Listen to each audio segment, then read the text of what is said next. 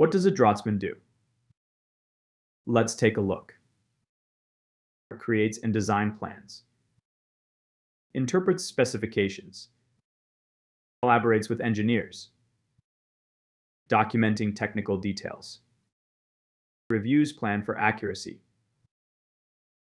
What does it take to become a draftsman? Problem-solving skills. Creativity.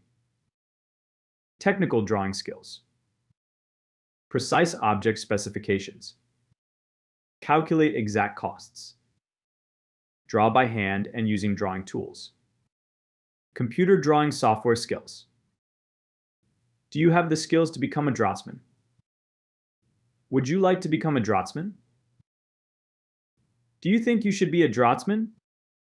To choose a vocation consider passion or what you like to do, proficiency or skills, purpose or what you think you should do.